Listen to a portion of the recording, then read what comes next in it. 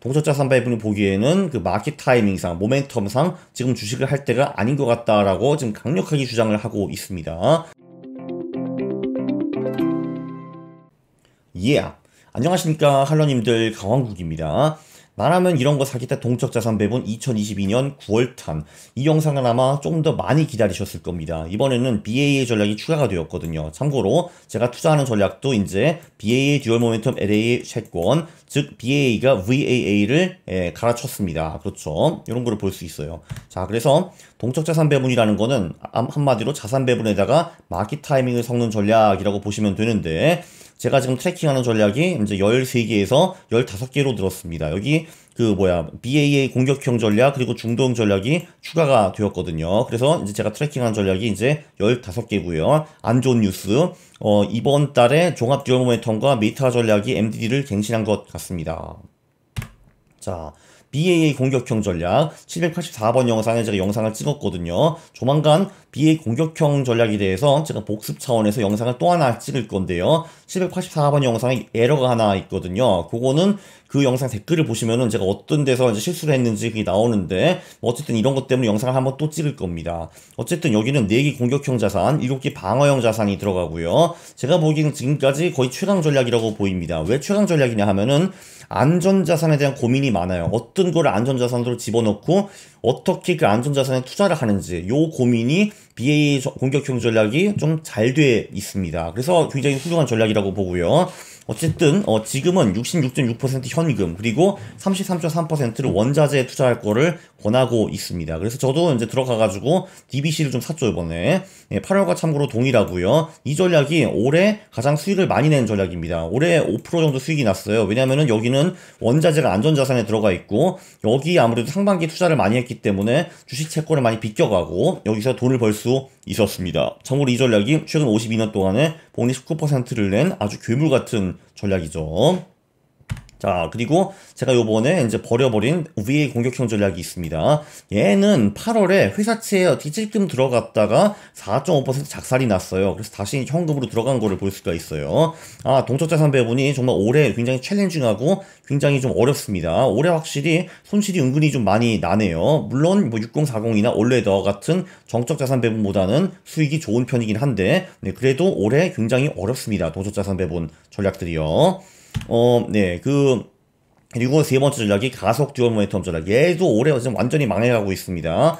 네, 얘도 8월에 어설프게 미국 주식에 한번 들어갔다가 얻어 터진 다음에 다시 물가 연동채로 피난을 왔는데요. 또 올해는 주식 채권 둘 다 좀 별로 안 좋기 때문에 어, 얘도 지금 그 2022년에 굉장히 좀 어, 얻어, 많이 얻어 터지고 있다는 것을 볼 수가 있습니다. MDD가 원래 큰데 막 근접을 하고 있네 지금. 그렇죠. 그리고 이제 이 모든 동적 자산 배분 혁명을 시작해낸 전통 dual momentum 전략. 얘도 20년, 21년에 수익이 매우 좋았는데 얘도 올해 좀 그저 그렇습니다. 얘는요 안전 자산으로 도망갈 것까지는 좋았는데 이 안전 자산이 지금 계속 말썽을 부리고 있습니다. 이게 지금 채권이라서 안전 자산인 것 같았는데 얘가 지금 3% 수, 어, 손실이 났어요. 8월에. 네, 심각합니다. 심각해요. 심각합니다. 다섯 번째 전략. BA 중동형 전략은 올해 BA 공격형 전략과 거의 비슷하게 투자를 했습니다. 그래서 똑같은 수익이 났고요. 그래서 얘도 66.6% 현금, 33.3% 원자재에 투자를 하고 있습니다. 8월과 동의하고요. 동일하고요. 그리고 이제 DA 전략 얘도 어설프게 요번에 이제 그 8월에 용기를 좀 내가지고 회사채도 좀 하고 주식도 좀 하고 이러다가 된통 깨진 다음에 다시 9월에 현금으로 도망갔습니다. 네, 그렇죠. 8월에 이제 굉장히 오래간만에 공격형 자산을 좀 담았거든요. 근데 공격형 자산이 7월엔 수익이 좋았는데 8월에 또 죽었잖아요. 예, 그래가지고 다시 현금으로 도망갔고요. 얘도 올해 마이너스 7%. 네, 굉장히 좀 어렵습니다. 얘도 어려워요.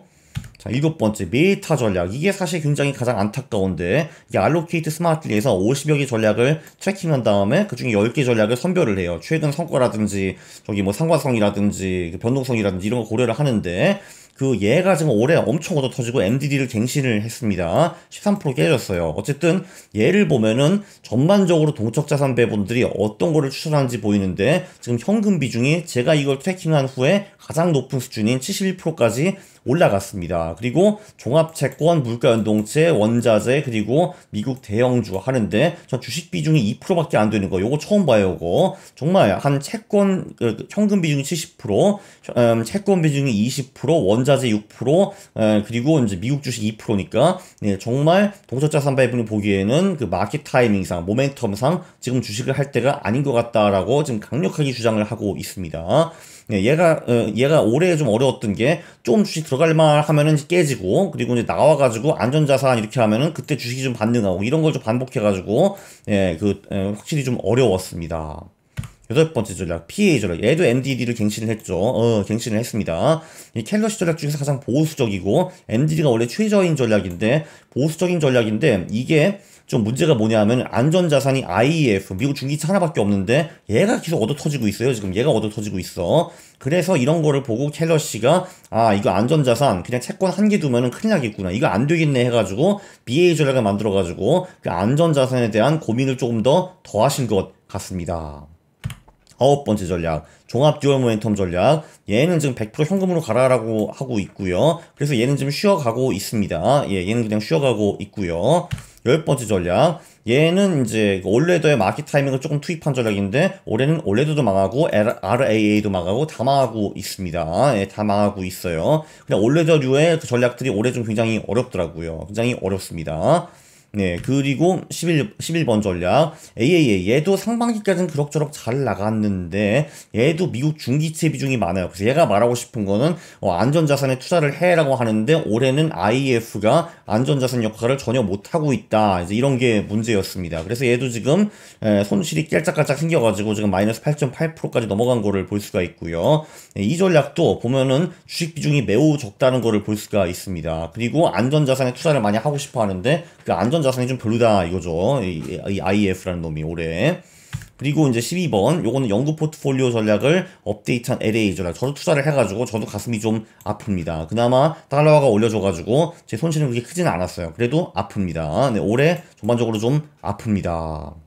13번째 전략 FAA 전략 얘가 BA가 오기 전에 유일하게 올해 수익을 내는 전략이고요. 얘는 왜 수익을 내는가? 얘는 지금까지 그 원자재 투자를 상반기에 꽤 많이 해왔어요. 그리고 현금 비중도 꽤 많았고 그래서 얘가 그 어, 소위 올해 위너라고 볼 수가 있는데 심지어 얘도 지금 그 원자재를 팔고 다 현금으로 가라라고 주장을 하고 있습니다. 동투자 선배분들이 굉장히 어 그 시장을 안 좋게 본다라는 것을 볼 수가 있어요.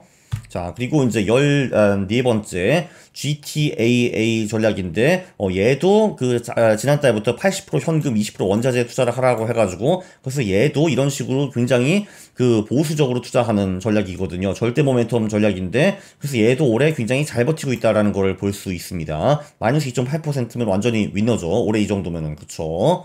그리고 얘도 위너 중에 하나인데 얘도 얘는 놀랍게도 채권 동적 자산 배분인데 이 채권 동적 자산 배분은 어, 채권의 최근 수익률이 안 좋으면 빨리 현금으로 도망가는 전략이잖아요. 그래서 얘도 한동안 계속 현금에만 투자를 하고 있어요. 그냥 어, 주구장창. 왜냐면 채권이 요즘 계속 안 좋으니까요. 그래서 얘도 올해 굉장히 잘 버텼다라는 거를 볼 수 있습니다. 마이너스 2.9% 정도고요. 네, 이 전략도 제가 하고 있죠. 여기서는 제가 실제로 어, 이번 달에 돈을 좀 벌었습니다. 달러화가 올라가가지고 돈을 좀 벌었죠. 네, 그렇죠. 자, 그러면은, 어, 네, 상대 모멘텀을 보면은 이 15개 전략 중에서 최근 1년 동안에 가장 수익이 높았던 전략은 BA 중도, BA 공격, GTA, FAA, 채권 동적 자산 배분. 요 순으로 보시면 될 것 같습니다. 그리고 거인의 포트폴리오 나오는 10대 전략 중에서는 가장 뛰어났던 전략이 GTA 종합 dual momentum, 영구 근납이 dual momentum인데 문제는 이 다섯 개 전략이 최근 1년 동안에 다 마이너스다라고 보시면 될 것 같습니다. 아니야, GTA만 좀 수익이 나는 것 같더라고요. 나머지 4개는 다 지금 죽을 쓰고 있습니다. 그래서 동적 자산 배분이 올해 상당히 어려워요. 그거는 확실하고요. 8월이 다시 아주 끔찍한 한 달이었습니다. 주식 채권 동반 박살 났거든요. 이놈의 파월. 난 이 파월이란 놈이 싫어요. 이게 뭐한 놈이에요. 어쨌든 싫어. 연준이나 파월이. 어쨌든 그 올해 확실한 거는 뭐냐 하면은 동적 자산 배분에 안전 자산 쪽이 약점이 노출되었습니다. 그러니까 이제 BA 전략을 빼면요. 대부분 동적 자산 배분 전략은 그 언제 공격형 자산을 할지 그리고 안전형 자산도 넘어갈지 그 룰이 다 있습니다. 동적 자산 배분은 그게 다 있는데 근데 많은 동적 자산 배분은 안전 자산이 보통 달랑 한 개인 경우가 많고 그 한 개가 보통은 채권 ETF일 경우가 많아요. 예를 들면 뭐 AGG라든지 IF라든지 뭐 이런 ETF들인데 근데 얘네들이 올해 무너져줬어요. 그래서 많은 동적 자산 배분들이 올해 초부터 빨리 그 안전자산으로 도망가라는 판단은 제대로 했거든요. 이제 그거는 좋은데, 근데 그 안전자산이 IF나 AG, 채권 ETF이기 때문에 안전자산 역할을 못 해 준 겁니다. 그래서 제가 보기에는 지금까지 에, 가장 안전자산에 대한 고민이 많은 게 바로 그 BA 전략인데 그런 식으로 7개 안전자산 중에서 3개를 선택을 하되 요 3개 안전자산도 최근 수익이 별로다라고 하면은 빨리 그냥 현금으로 넘어가는 거 요런 게 사실 좋아 보입니다. 그래서 이런 식으로 동적 자산 배분들을 확실히 좀 뜯어 고쳐야 될 것 같아요. 예를 들면은 뭐 dual momentum 같은 경우도 뭐 원래는 미국 주식과 해외 주식에 투자를 하는데 그게 안 돼가지고 안전자산으로 넘어가면 AGG에 투자를 하게 되는데 그거보다는 7개 안전자산 중에서 3개를 선택을 하고 그 중에서 절대 모멘텀 돌리고 이것도 안 되면 현금으로 가고 이런 게 좋아 보인다 이겁니다. 다시 한번 말씀드리지만 동적 자산 배분도 여러 전략의 분산 투자하는 게 굉장히 중요합니다. 보시다시피 올해는 6040 그러니까 주식과 채권이 둘 다 좀 죽쓰고 있죠. 마이너스 14% 이번 달에도 마이너스 4%였는데 올해들은 더 안 좋고 연구 포트폴리오도 거기서 거기인데 여기 이제 동적 자산 배분은 그래도 그나마 좀 꿋꿋이 버텨주는 거를 볼 수가 있습니다. 여기서 이렇게 말할 수가 있죠. 15개 전에는 그 전에 13개였잖아. 걔네들은 어떤가 하면은 걔네들은 마이너스 10%였습니다. BA가 두 개 들어와가지고 평균을 좀 높여준 거는 확실히 좀 있는데 이거를 제외하면은 마이너스 10% 그러니까 사실 동적 자산 배분이 1년에 마이너스 10%그 평균적으로 마이너스 10%낸 적이 사실 거의 없거든요. 근데 거의 오, 올해가 사상 최초인 것 같아요. 도, 음, 이게 그 주식과 채권이 와장창 무너지고 이제 원자재과 금이 뭐 어, 어, 크게 엄청나게 활약을 하지 못해서 그런 것 같고요. 물론 이런 게 있습니다. 이런 전략들이 MD를 갱신을 하면은 보통 그 후에 굉장히 화려하게 컴백을 하더라고요. 그거를 제가 사실 조금 기대하고 있습니다. 이게 이제 오, 어, 올해 명예 정당이고요. 요번에 들어온 BA 공격형 중도형이 이제 이런 수익을 보이고 있고 FA가 유일하게 올해 플러스 그리고 요 두 개 전략들도 굉장히 짱짱하게 버티고 있다라고 말씀을 드리면서 이번 영상을 끝내겠습니다. 이번 영상이 조금 이제 암울하기는 한데 어 그래도 유익 했었던 것 같으니까 구독을 눌러주시고 그리고 좋아요 부탁드리겠습니다. 싫어를 누르시면 제가 매우 싫어합니다. 감사합니다.